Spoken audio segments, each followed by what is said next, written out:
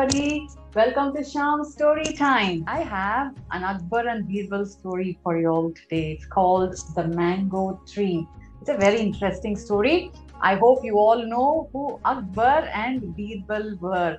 Akbar was a Mughal king who ruled over the northern part of India before 400 years. Birbal was one of his favorite courtiers. There are so many stories about Akbar and Birbal that have moral, that have values, and that are very, very funny.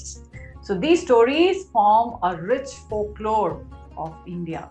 Today I'm going to tell you the story of the mango tree.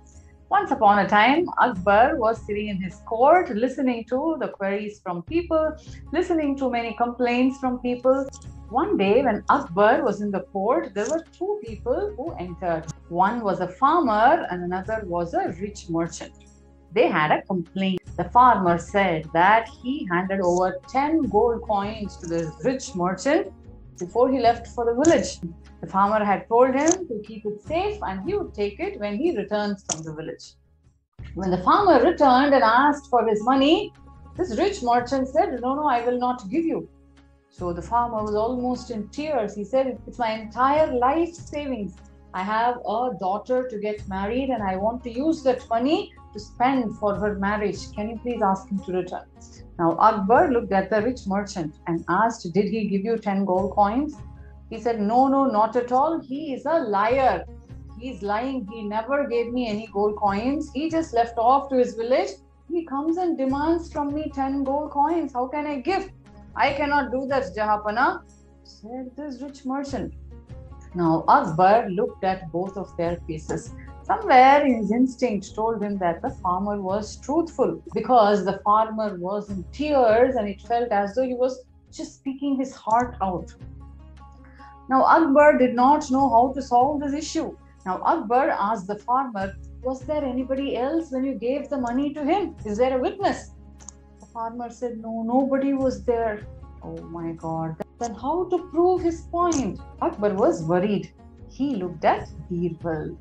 Birbal smiled and came forward.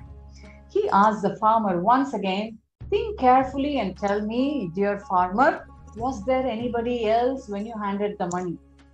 The farmer thought for a while and said, Nobody was there. Only there was a mango tree. It was under this mango tree that I handed in the coins. That was only there. Nobody was there. So Birbal told the farmer, can you go and bring the mango tree? I would like to listen to the tree. He is the witness to your handing over the money to him. Farmer thought for a while, How can I ask the mango tree? He said. Birbal replied, No, no. If you believe that you have given these coins to this merchant, go and tell the mango tree. Ask him to come to the court. Let us see. So they waited. The farmer said, Okay, I will do as you said. And he left the court. The rich merchant was asked to be seated in the court itself. While the farmer was gone, Birbal called another important courtier and told him, You please go behind this farmer and just see what he is doing. Without the farmer's knowledge, this person stopped him. That means followed him where he was going. So while the farmer was gone here in the court, other things were happening. There were many people who visited King Akbar. He was listening to their queries, giving them judgments. There were many court affairs that were happening.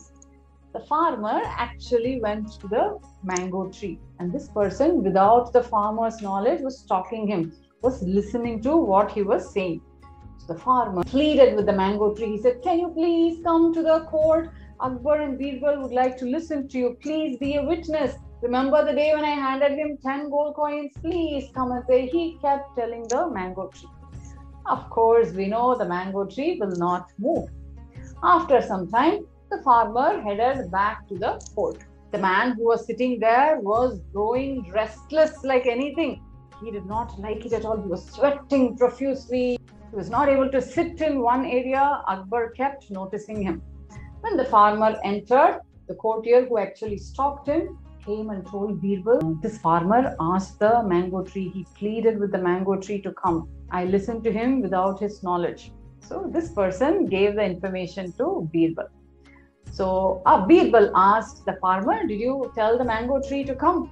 I pleaded with the mango tree, Your Majesty. The mango tree did not move at all. I told him so many times. In fact, I begged to come, but to no avail, he said.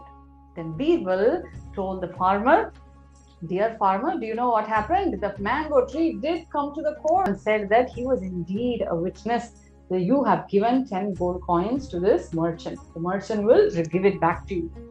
At this, the merchant was aghast. He just stood up and said, How can you say this? There was no mango tree which came to the court. He is lying. And he went on and on. Birbal said, No, you are the liar. You please pay him 10 gold coins. Otherwise, you will be imprisoned for six months along with a fine. Merchant had to accept the judgment. He paid 10 gold coins to the farmer. He apologized and both of them left. Now you have to think how Birbal found out that the farmer was truthful. If you know the answer, you type it in the comment section below. I hope you liked today's story. If you did, you must subscribe to my YouTube channel, Shyam Story Time. You will have access to many stories. Thank you. Bye bye.